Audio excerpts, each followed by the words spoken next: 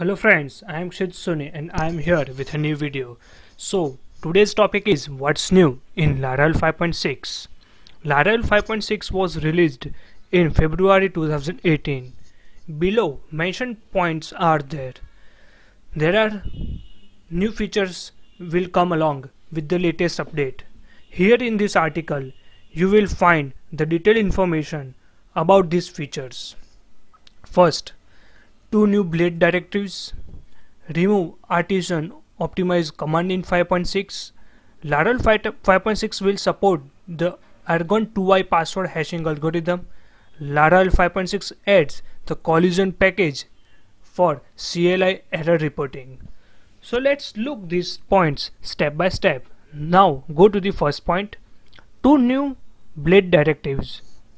Laravel 5.6 will include two new blade directives one for the cross-site request means CSRF token in your HTML forms and other other requests as well. In 5.5 we are using below method to form hidden files and for this CSRF token and another hidden input as well. In the 5.6 we are using CSRF field and method field is delete but now in the Laravel 5.6 you will be used below only at the CSRF and at the method and the method name.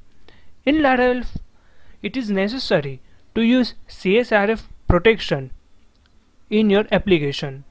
Every HTTP request you must include the CSRF token in the hidden files like underscore token to save but in Laravel 5.6 you need to just at the rate CSRF. You cannot declare any path, put or delete request in the HTML forms. You need to add just hidden underscore method field to tell Laravel HTTP request. Now move further to the second point. Remove artisan optimize command in Laravel 5.6. PHP artisan optimize command was deprecated as of Laravel 5.5. After the official release of 5.6, it is removed. In the Laravel 5.5, the composer.json in your applications in the root folder no longer reference to the optimization of the your application. In Laravel 5.6, you cannot use optimized command in your application. In Laravel 5.5, use of optimize command generates a deprecated warning and now after the release of 5.6 it is completely removed. So once you are update to Laravel 5.6 be sure to remove command from your composer.json file. Now third point Laravel 5.6 will support the Argon 2i password hashing algorithm. What is Argon 2i password hashing algorithm? The Argon 2i password hashing algorithm supports will be supported by Laravel 5.5 which needed PHP 7.2. Before compiling PHP, you need to install the Argon 2 library. If you are using the Debian Linux distribution, you can run the following command. sudo apt install argon 2.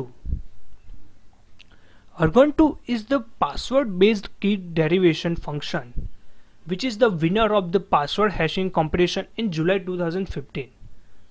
This function is an evolution of bcrypt and scrypt algorithms. Argon 2 provides security against brute force attacks using the predefined memory size, CPU time and degree of parallelism to prevent GPU attacks. It uses three parameters that controls memory requirement, the execution time and the parallelism level. There are two new main version of the algorithm Argon 2i and Argon 2d. So what is the difference between these two? Argon 2i is the safest against the side channel attacks while Argon 2d provides the highest resistance against GPU cracking attacks. GPU2D is not suitable for the password hashing and should not be used. So we are using Argon 2i library in the Laravel 5.6. Now number 4. Laravel 5.6 adds the collision package for the CLI error reporting. Collision package is created and maintained by Nuno Maduro an error handling package for the PHP command line application. This package gives you the beautiful error reporting once interacting with the Laravel application through the command line or CLI. You can check his git repo of the collision for more information about this package. So in Laravel 5.6 there are five there are sorry there are four new features introduced in Laravel 5.6 which is released on 7th February.